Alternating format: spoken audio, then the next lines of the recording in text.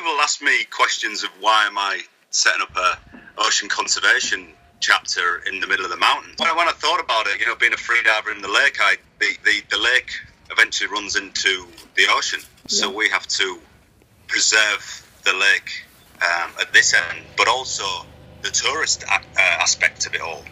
So you know, you got people from all over the world coming to Queenstown, and it was a great way to spread the awareness from uh, the inside out.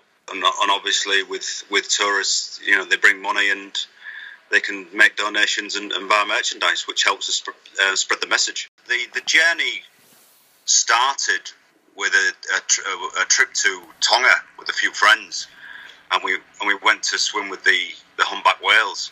As soon as I saw, you know, these amazing creatures underwater, I just there, there was almost a, a switch flicked inside me, and I just thought to myself, how can the- these certain nations, you know, slaughter these creatures for you know, you know, for, for consumption. And that was that was the start of it. So I, re- I returned back from Tonga, and on that point, I I felt the need to to do something. So I contacted Sea Shepherd New Zealand um, to see if I could start a chapter in Queenstown. It's hard work, physically and mentally, because we you know we're, we are in Africa at the moment, so we've got to deal with the, the, the temperatures.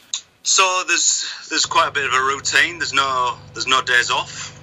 Uh, as an engineer, we have shifts, so we work four hours on, eight hours off.